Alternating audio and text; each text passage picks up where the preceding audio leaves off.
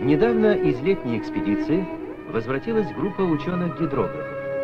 Среди них был кинолюбитель Войгачев. Он заснял кадры о работе экспедиции.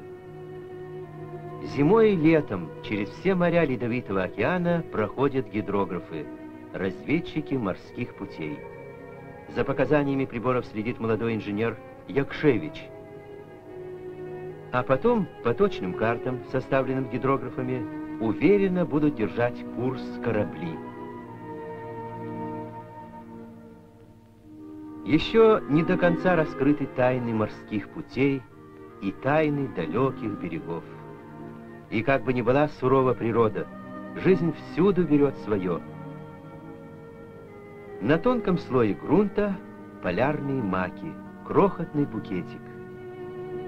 Пожалуй, он обрадует не меньше, чем бивень мамонта. Кто знает, сколько лет пролежал он в промерзшей земле.